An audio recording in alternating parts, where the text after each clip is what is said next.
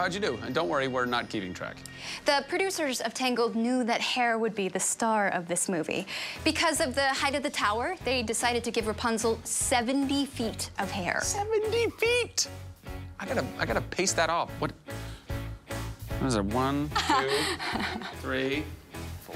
So they set out to learn everything about it. They even called upon Kelly Ward, who has a PhD in hair. Uh, yeah, what was her dissertation in? Split ends? She helped show the animators how hair moves, how it catches light, and she even assisted in the development of new software, which created the 70 feet of Rapunzel's hair with over 100,000 strands.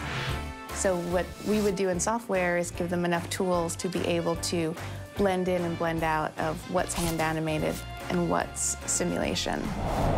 And animating all that hair, it wasn't easy.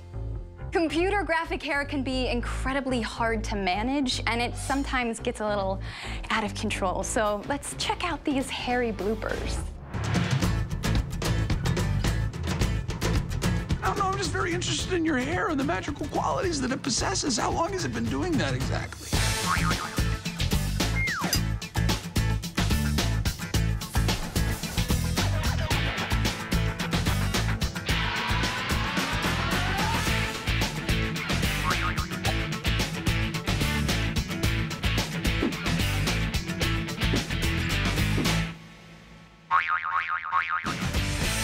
They had plenty of long, hard days, but they got it right and made some animation history in the process. 70!